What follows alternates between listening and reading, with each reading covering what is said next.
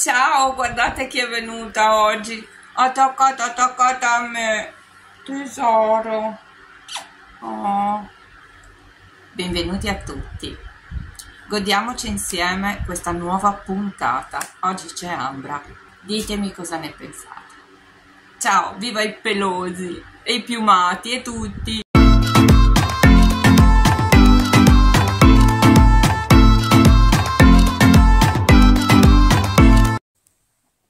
Iscriviti. Subscribe, please. Wow. Wow. Ciao! Ciao, Ciao a tutti, ciao Lucia, ciao Rullo, ciao, ciao tutti, tutti, tutti. Come state? Noi stiamo bene. Partiamo con l'argomento di oggi.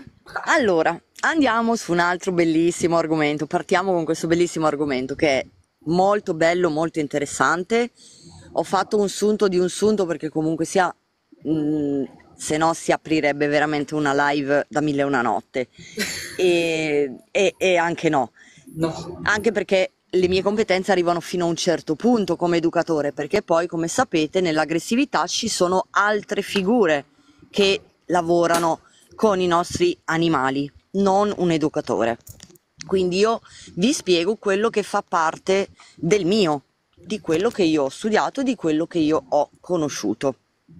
Allora, partiamo dal principio, quindi l'aggressività del cane può essere sia con altri cani oppure verso altri animali che possono essere eh, gatti, galline, uccellini, eccetera, e umani.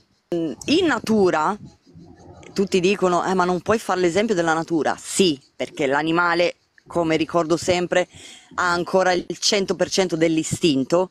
In natura, con l'aggressività, eh, usata nel modo appropriato ovviamente, il cane ottiene accesso alle risorse, risorse che possono offrire vantaggi, quindi il cibo, eccetera, eccetera.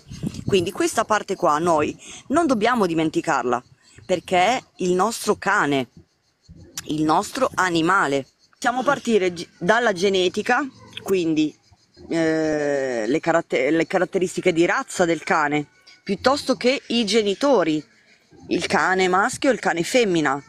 Ricordatevi che se eh, due genitori, due cani eh, aggressivi hanno avuto una cucciolata, 25-50% di possibilità di rischio che anche il cucciolo diventi eh, aggressivo c'è. Tutti e due hai detto, se tutti e due sono aggressivi. Sì. Mm. Sì, poi anche lì ci può stare tante volte che c'è magari o la mamma o il papà. Eh, lì più o meno si capisce nella cucciolata comunque, appena nascono può succedere che comunque ci sia, ci sia il, il cucciolo più forte, più determinato. Si capisce subito, quindi su quel cane lì va lavorato, va iniziato il percorso subito, appena finito lo, lo svezzamento. Eh, Le caratteristiche attitudinali del cane. Sì. Quindi qua bisogna anche e sotto- e sottolineo che ogni individuo è a sé con caratteristiche uniche. Proprio per questa motivazione qua, la vecchia scuola, l'old school, quindi il gentilismo, è sbagliato perché il gentilismo vede tutti i cani di quella razza con lo stesso carattere, caratteristiche di razza, eccetera. Ti hanno dato della gentilista, infatti. Che fuori, cioè, ma neanche morta. Poi l'aggressività può essere anche dovuta a neurotrasmettitori. Quindi lì però è una problematica che io non apro perché lì ci vuole un comportamentalista, ok? Quindi è un individuo che nasce con delle problematiche che vanno seguite con dei farmaci e un percorso eh, mirato su di lui, ok? Poi l'ambiente di vita e le esperienze, quindi i- l'espertising che ha il cane fanno, possono creare aggressività. Perché? Perché per esempio sul discorso eh, dell'ambiente di vita, ehm, come vive il proprietario, come vive il proprietario e il cane, determina come diventerà il cane. Quindi se il cane, il proprietario mena tutto il giorno il cane, il cane imparerà che con l'aggressività si ottiene le cose, a meno che non diventa un sottomesso di quelli che appena proprio vede una mano che si alza si sdraia per terra. Ok? Poi risponderai alla nostra amica Cetti che dice che non, eh, non esiste cane aggressivo alla nascita. Questo poi se rispondi dopo, io intanto te lo, te lo segno così. Allora, lì infatti ho detto che si parla di neurotrasmettitori e ci vuole un comportamentalista, un veterinario comportamentalista che ne parla, perché ci sono un caso su 100 cani che, che nascono con problematiche di serotonina bassa piuttosto che altre problematiche che può sfociare in aggressività.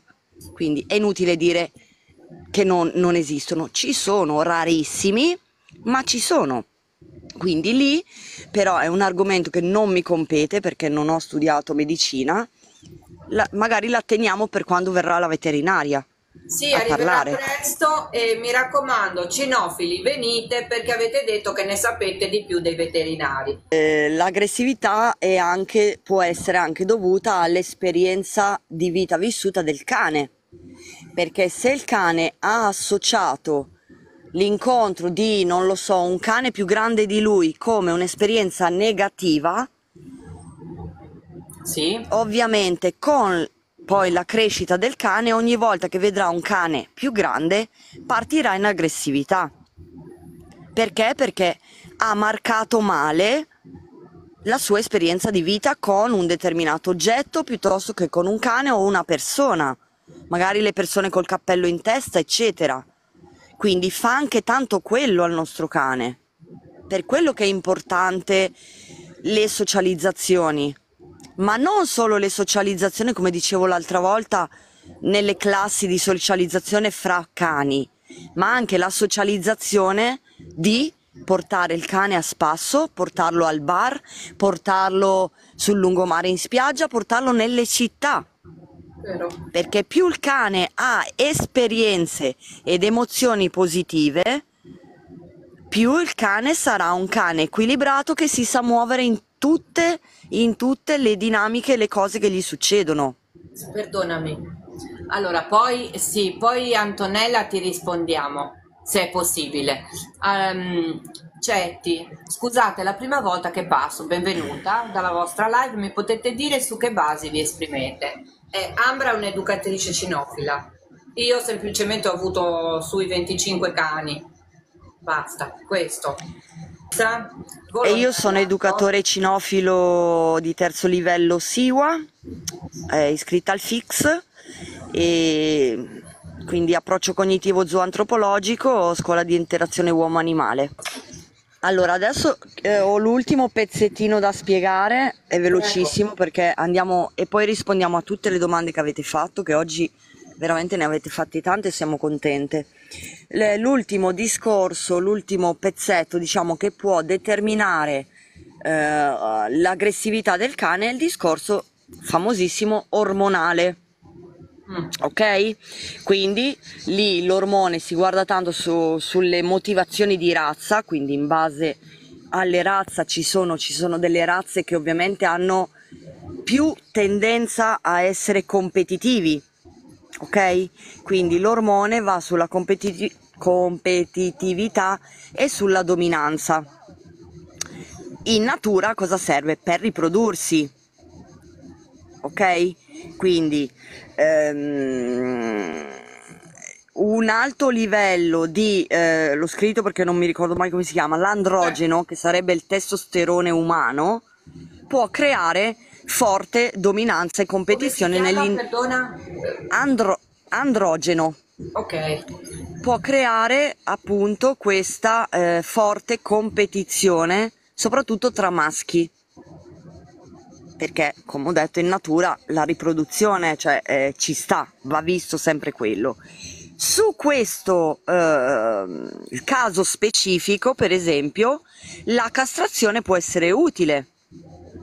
Perché? Perché in questo caso qua la castrazione dallo 0 all'80% può servire, ma solo in questo caso.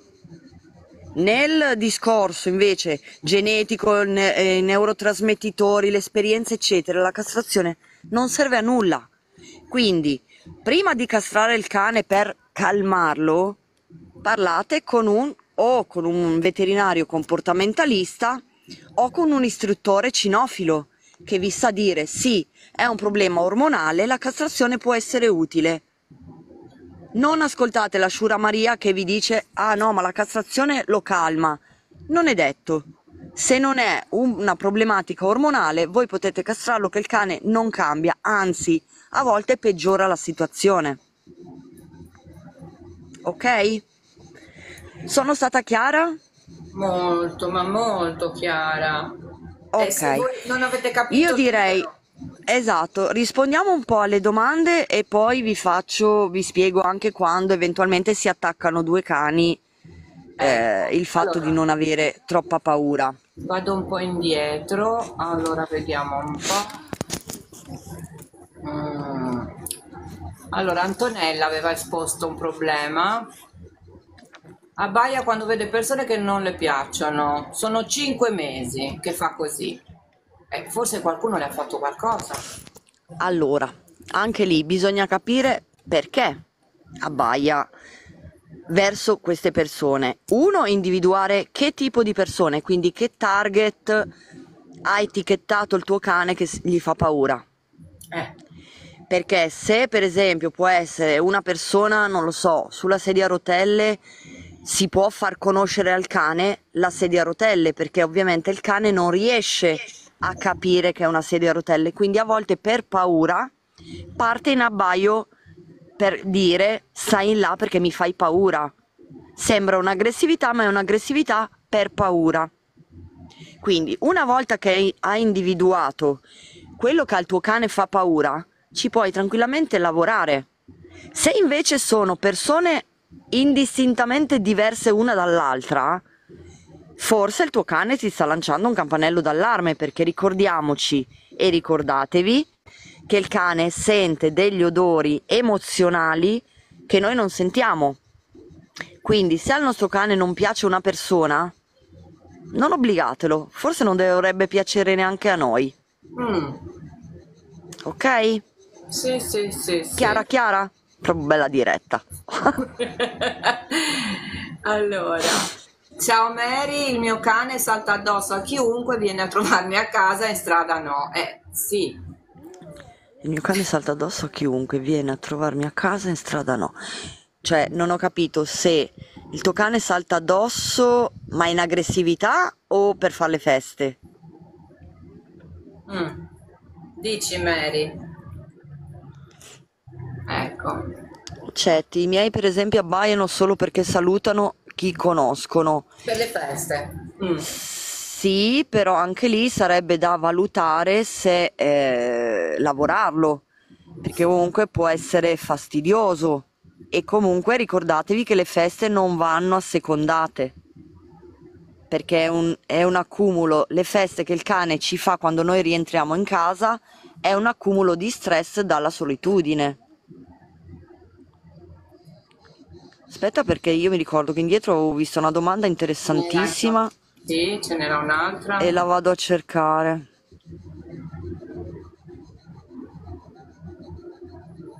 Allora, si può prendere il patentino per diventare educatore dei cani. Marina Do DG 971. Sì, Marina, devi studiare perché i corsi, quelli riconosciuti a livello nazionale o internazionale, come per esempio il mio, eh, sono anni di studio studio, poi c'è tanta gavetta sul sia al canile sia eh, come tirocinio. Sono anche soldini, però poi tu hai un- il tuo diploma mm, da educatore o istruttore o quello che farai. Diffidate dagli attestati di partecipazione, quelli non sono educatori cinofili. Ok? Che sia chiaro. Per tanti, ah no, guarda, c'ho l'attestato. No, l'attestato non è riconosciuto. Mm. Esatto, è un attestato di partecipazione. Tutte le scuole serie sono per forza obbligatoriamente appoggiati o al FIX o al SEN o all'ENCI. Sono Poi, andata in addestramento, ma continua, essendo un Doberman, è pesante, immagino. Immagino. per le feste. Ok, per le feste quindi no- non, non c'è un discorso di aggressività. Le feste, come dicevo, non vanno assecondate, quindi va fatto un lavoro di ehm, ignorare.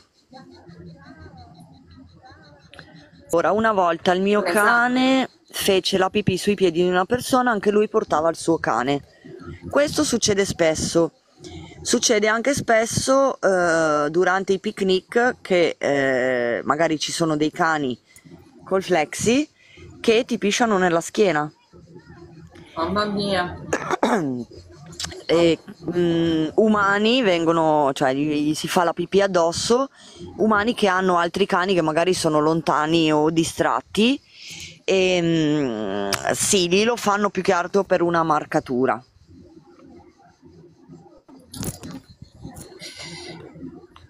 Maleducato il padrone, non il cane.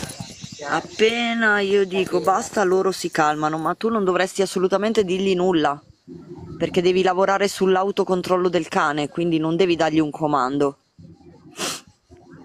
Sono andata in addestramento, ma continua essendo un Doberman è pesante. L'addestramento prova, prova con un educatore, perché comunque non, non va assolutamente bene. Sì, non va assolutamente bene che un Doberman salti addosso, anche perché poi quando lo farà da grande, o se magari è già grande, anche se lui f- lo fa con le buone intenzioni, può succedere che trovi una persona che ha paura e tu paghi i danni, eh? Perché poi c'è lo shock emotivo, questa persona magari cade perché si spaventa, batte la testa e sono cavoli amari. Quindi il cane non deve saltare in braccio. L'attestato è appunto che si è partecipato a un corso senza averlo conseguito.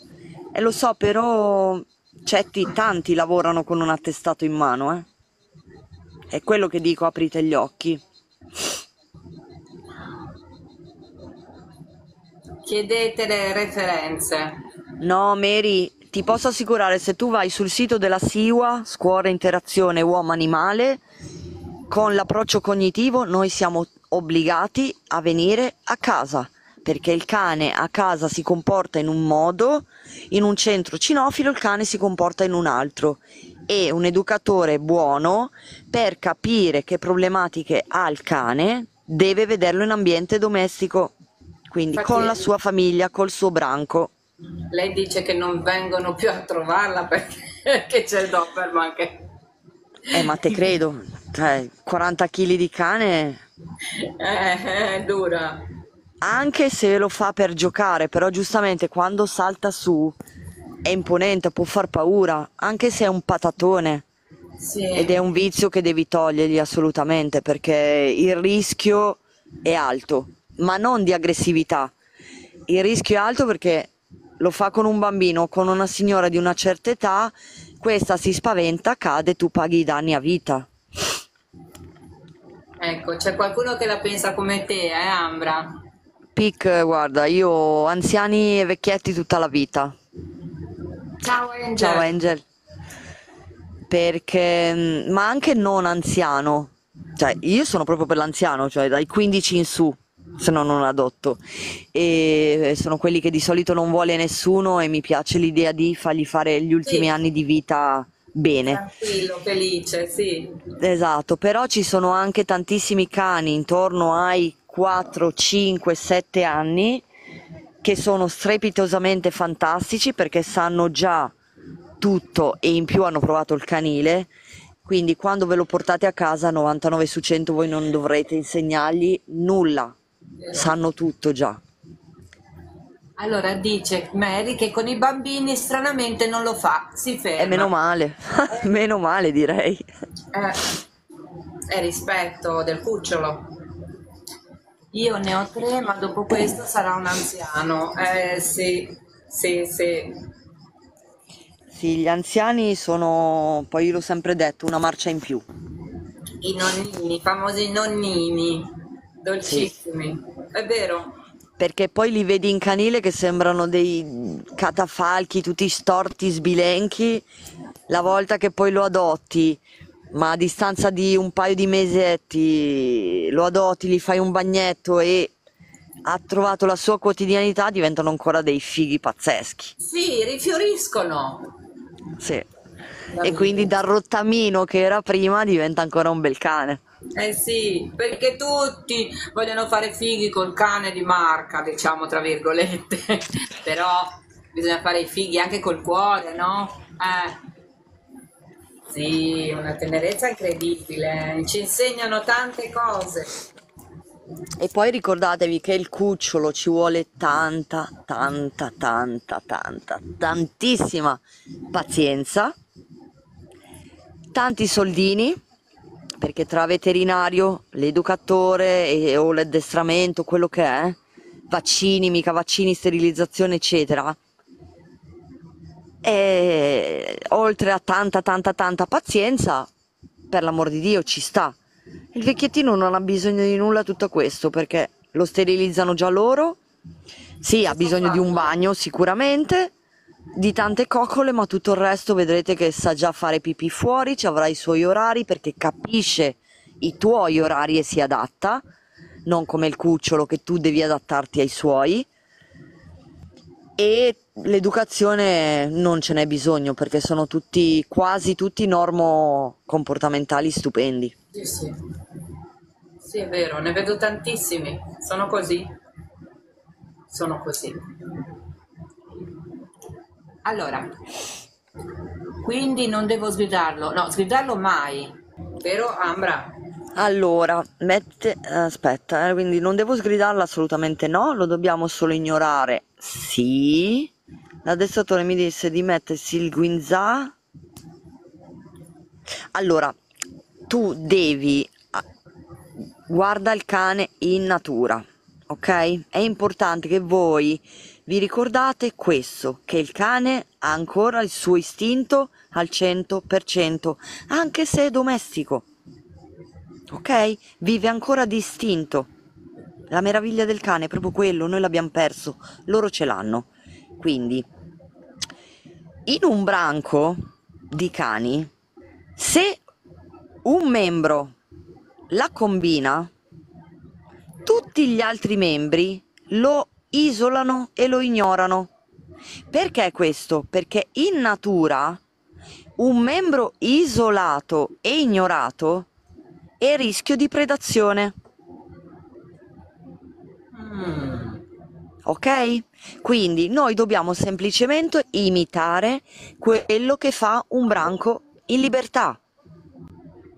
Io ti isolo, ti tolgo dalla, dalla socialità, ti ignoro completamente, non esisti, non ti guardo neanche con la coda nel- degli occhi per quei 5-10 minuti e vedrete che il cane capisce da solo. Non è non dandogli da mangiare che il cane capisce. Bisogna Piccola sforzarsi. parentesi, piccola parentesi e frecciatina mirata. Di, di- di- ripeti, ripeti. Che non è non dando da mangiare al cane che il cane capisce, Ecco. ok? Il guinzaglio, no, no, il guinzaglio in casa assolutamente no. Tu puoi mettergli il guinzaglio se, ipotesi, voi siete in passeggiata, vai in un bel prato, che ne so, gli dai più spazio con ehm, il guinzaglio, quindi gli dai 3 metri o gli dai la longhina che ha anche più metri.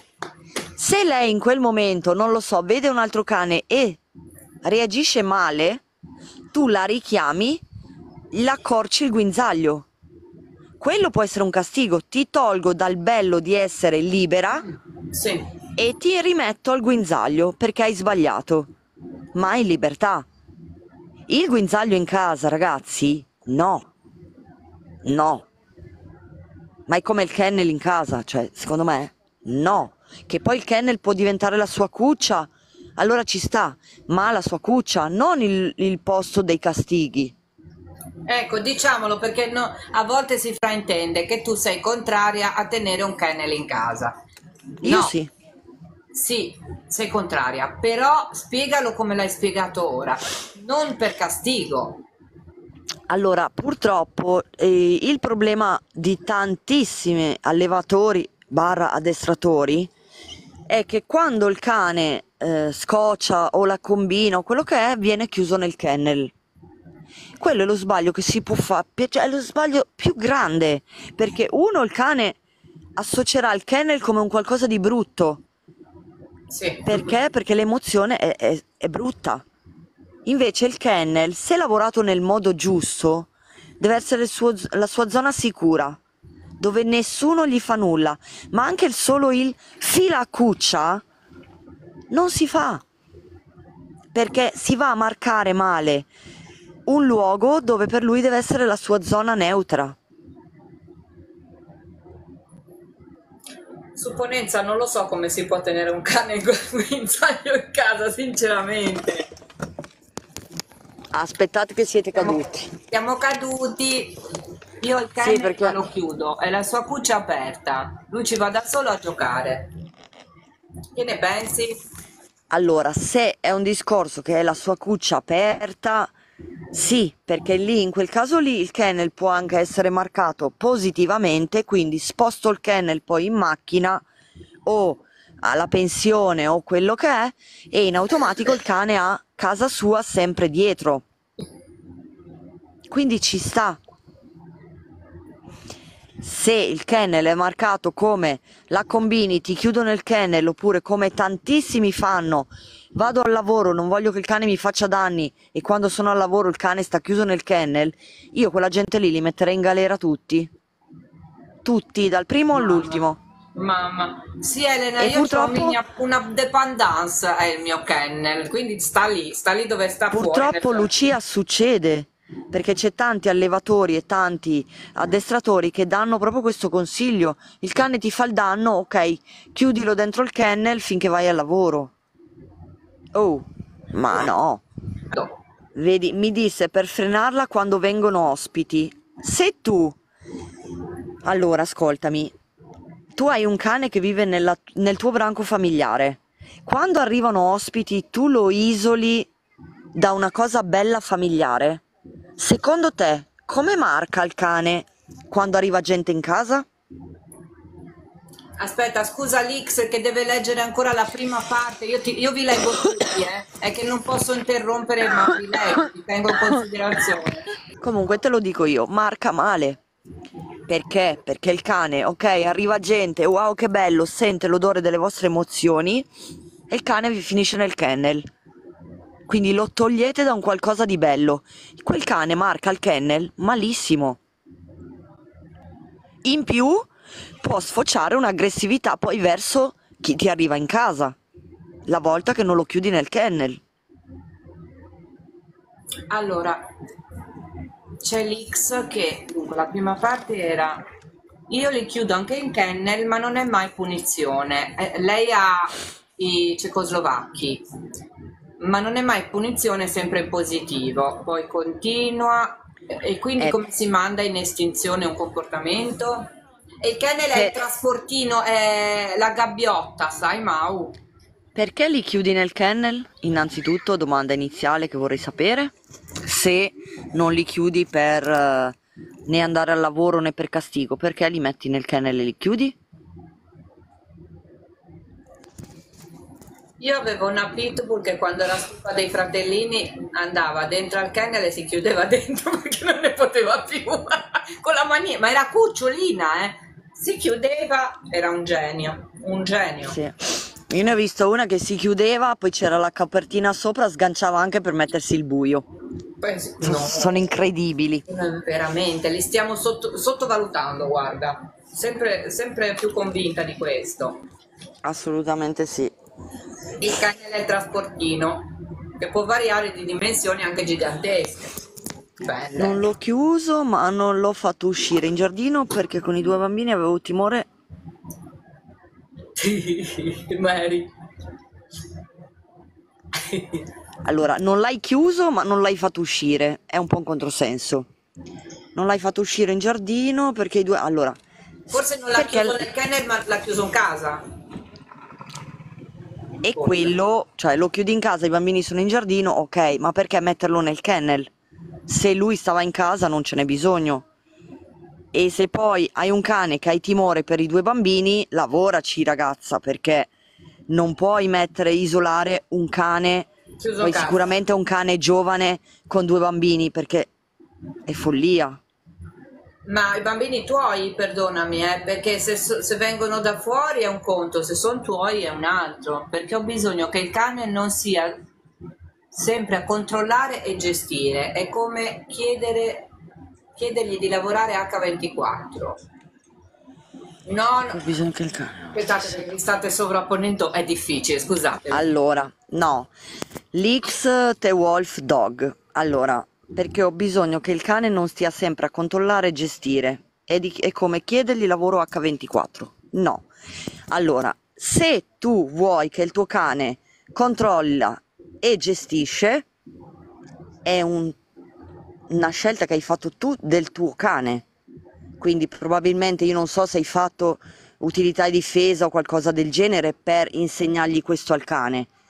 Noi, per esempio, quando facciamo determinate cose, noi mettiamo o una bandana al collo del cane in modo che quando mettiamo la bandana il cane sa che entra in modalità lavoro, o la pettorina.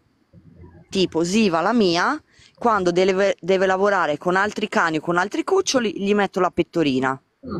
E lei sa che, deve, che entra in modalità lavoro. Senza o la bandana senza pettorina e senza bandana lei è libera di fare quello che vuole.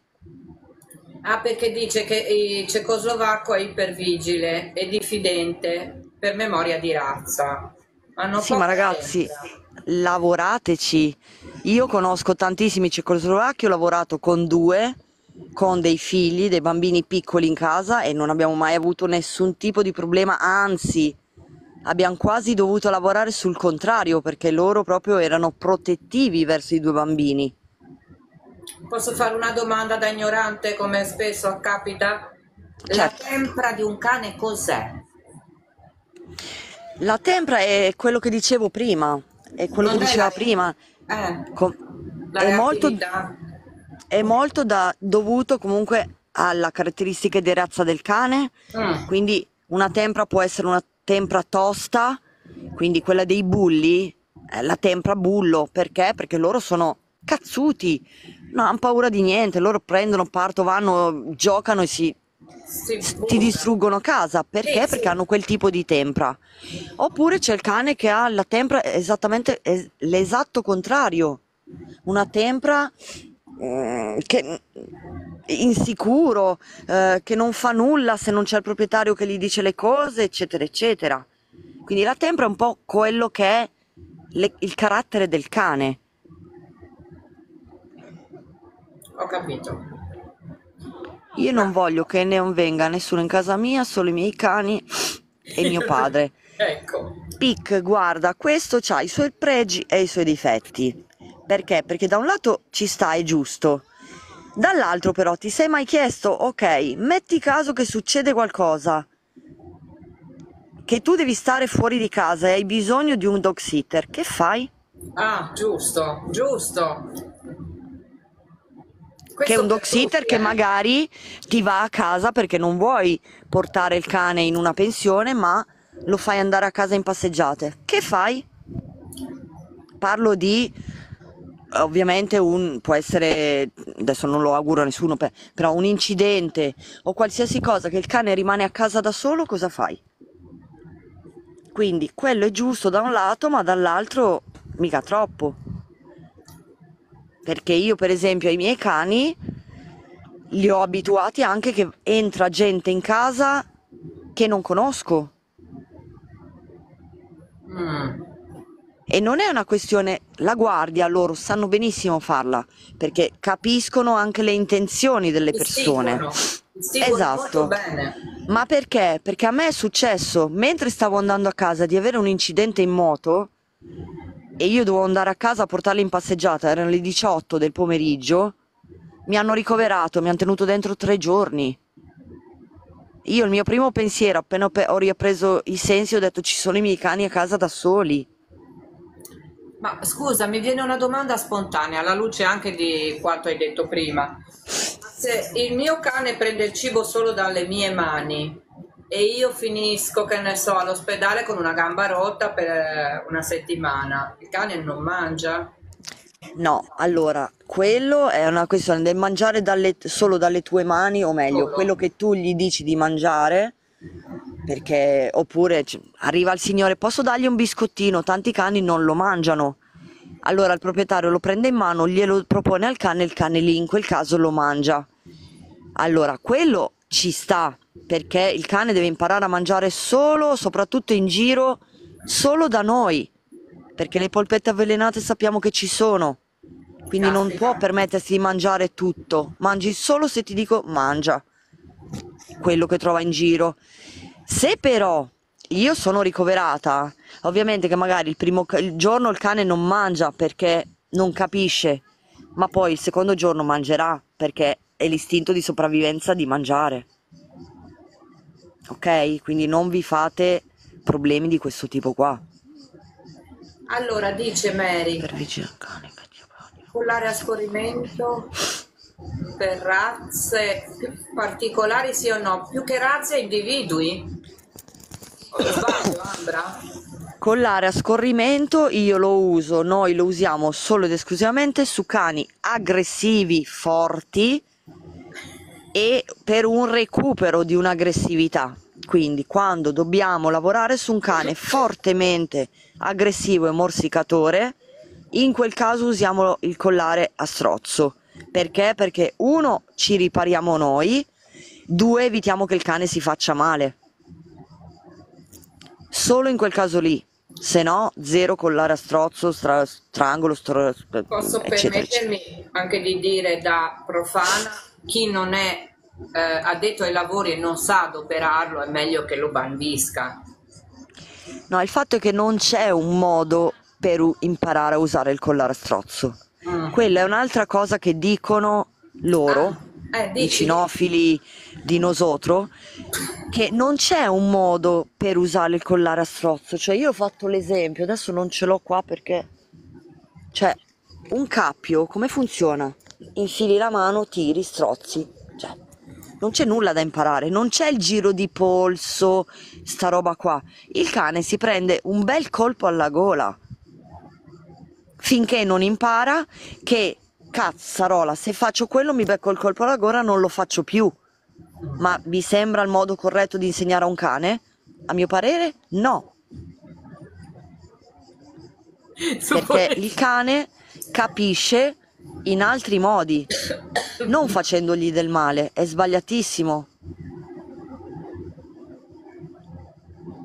Aspetta perché ho visto una domanda interessante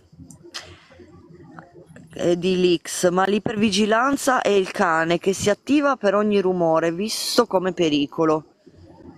Senza kennel la, la muerte.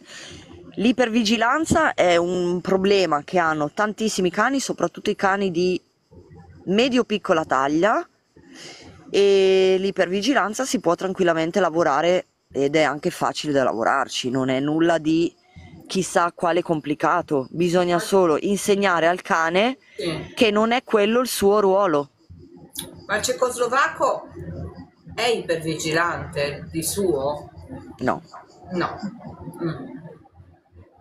No, gli ipervigilanti, gli ipervigilanti per intenderci sono spessissimo volpini, chihuahua, pincher, piccolini, tenuti sempre in braccio, tenuti sempre sullo schienale del divano, sopra di noi e hanno sempre le orecchie anche quando dormono.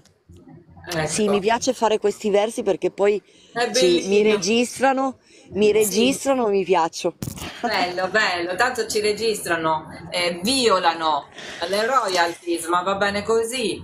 Elena, confermo, i cani devono vedere e vivere tutto. Per essere un cane equilibrato deve proprio fare quello. Bravissima.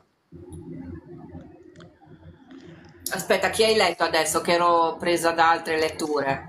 Eh, PIC 76. Ah, ecco. Cioè Elena 17 l'ho letto, PIC 76 non posso Ecco, perché ecco. assisto mio padre. Sì, sì, sì, sì. Ho capito, ho capito, sì, sì. Il mio addestratore usa solo quello. Eh, iniziare a cambiare addestratore? Vedi? Io non accetterei mai Eh, di far del male al mio cane con un collare a strozzo. Mai.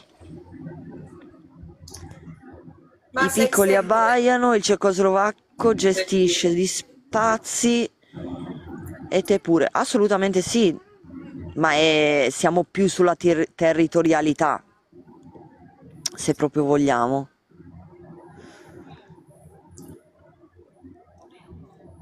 Ma Con sei Dea- tanto gentile, Lix, per carità.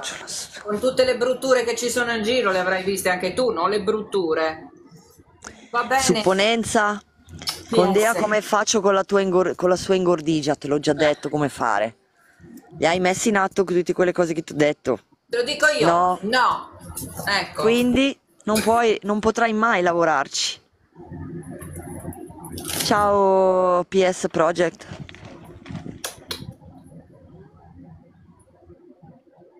E vabbè, non ci troveremo mai, mai, però sono gentile ed educata.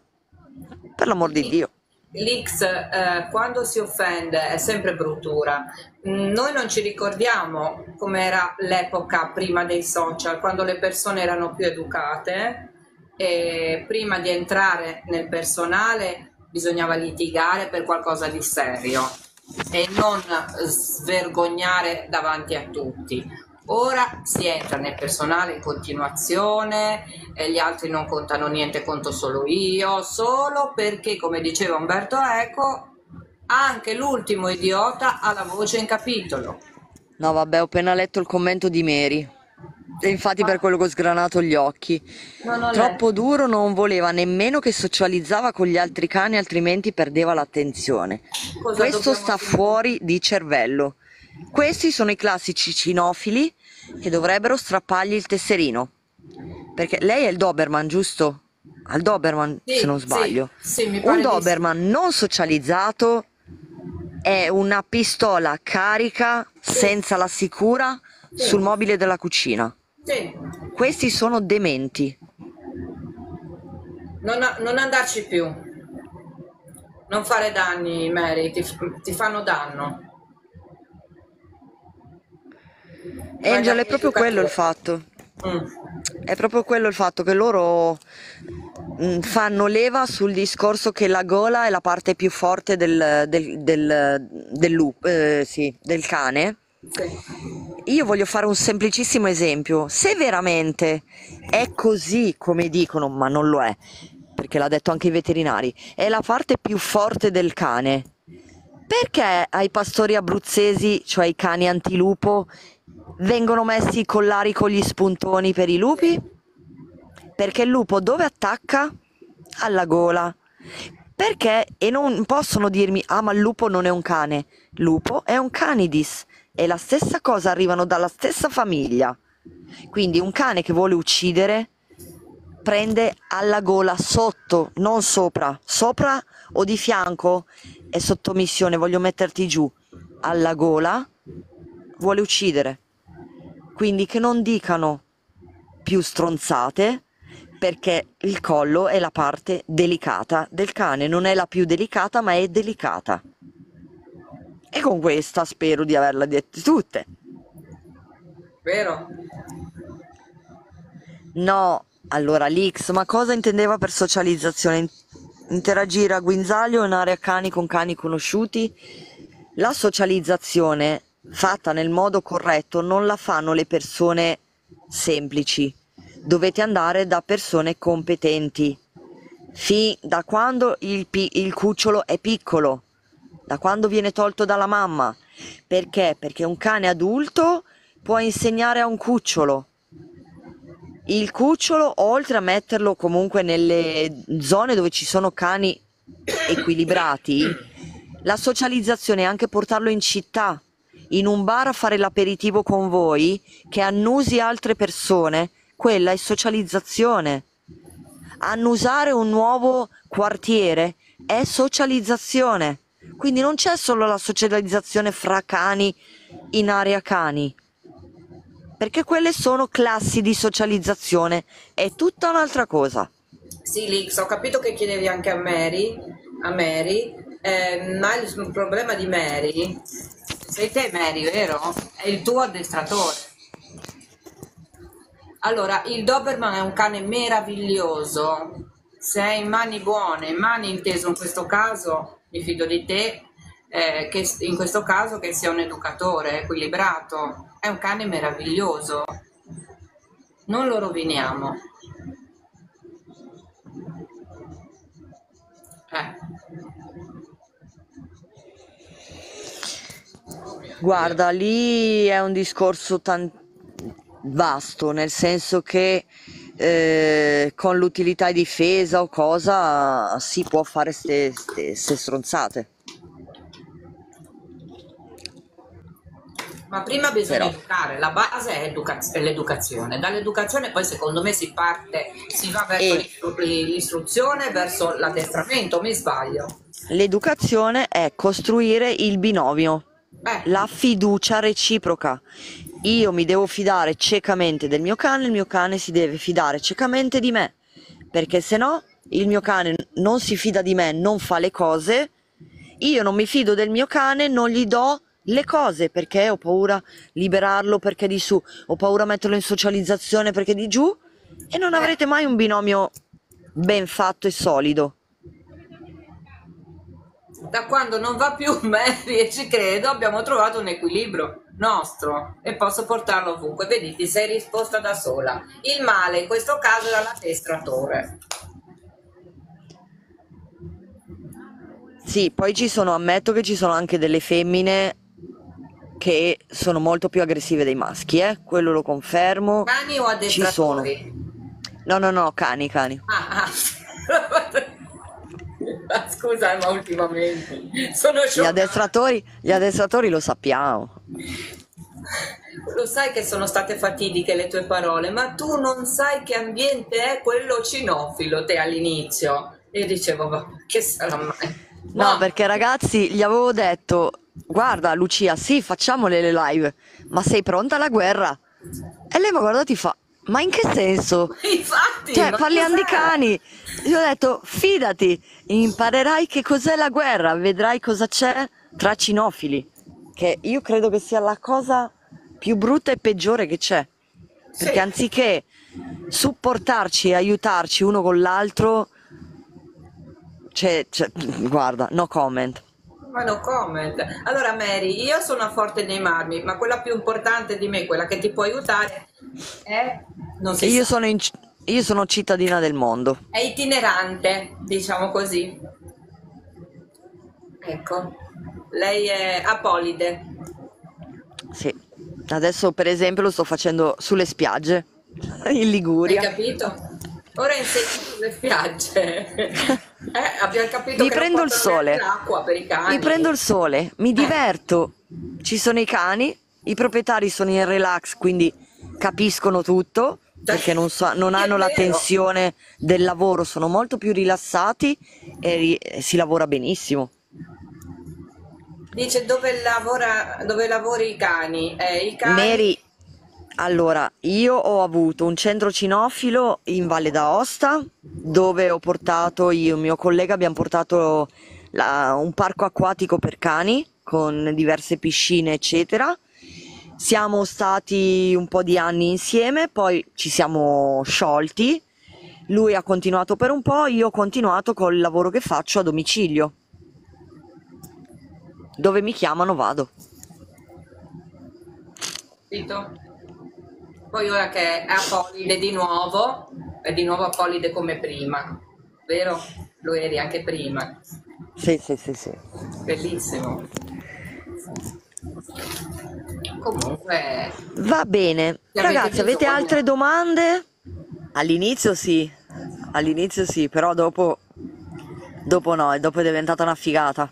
Eh, ma perché abbiamo aperto sta piscina per cani in Valle d'Aosta, figurati, ci hanno presi di mira tutti come i due pazzi che aprono le piscine per cani. Tempo, ma neanche sei mesi, tutti i centri cinofili della Valle d'Aosta hanno messo le piscine per cani. Questo te lo può confermare Isabella.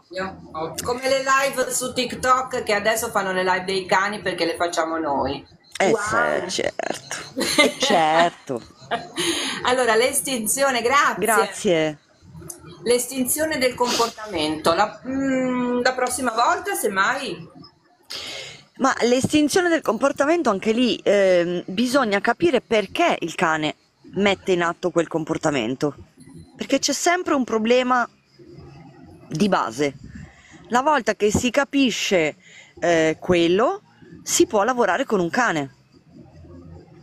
E così no, non si può dire a meno, non è il nostro modo di lavorare. Noi dobbiamo vedere prima il cane in famiglia, la gestione del cane in famiglia, come si comporta, vede, vederlo al di fuori per capire la problematica del cane. Noi ci distinguiamo da tutti gli altri proprio perché noi vediamo il cane come unico. Ogni singolo cane è unico. Meravigliosamente unico. Non tutti uguali, fatti con lo stampino e su tutti i cani facciamo gli stessi esercizi. Ogni cane ha il suo percorso. Vero, verissimo. Bisogna e essere ci... E non ci sarà mai un percorso uguale a un altro, soprattutto. Allora, ma infatti in campo era un angioletto. Tornata a casa sembrava carica morta. È ovvio. Ma il problema è proprio quello. Che o te la addestrano loro, ascoltano loro, non ascolta il proprietario oppure vai in campo, il cane sa che andando in campo deve lavorare, quindi è perfetto. Arriva a casa, Ehi, tutto torna come prima. Ehi, è bro. sbagliato. sì, sì. Allora, noi siamo in chiusura ragazzi, allora dice ancora l'X, ovvio parlo di cani che meccanizzano molto e quindi richiedono estinzione del comportamento come condizionamento il Lì è... destra a me è bellissimo, è bellissimo, direi che è fantastico. Io ringrazio tantissimo che dal suo luogo di villeggiatura e di essere apolide è presente comunque. Ora ci lascerà un po' decantare tutte le notizie che abbiamo appreso e riprendiamo poi a settembre. Grazie. Esatto. Grazie a te che, che siete stati veramente tanti. Tanti e molto carini, educatissimi, sempre siete educati, devo dire la verità. E inoltre, oltretutto, cosa siete stati anche pieni di domande e di curiosità, bellissimo. È ancora qui con me. Vi è piaciuto? Volete suggerirci qualcosa? Lo so, siamo in periodo di vacanza, ma vi vogliamo tenere compagnia lo stesso. Alla prossima, mi raccomando, dite sempre la vostra. Con educazione, vero Celibate? Oh, tesoro della mamma.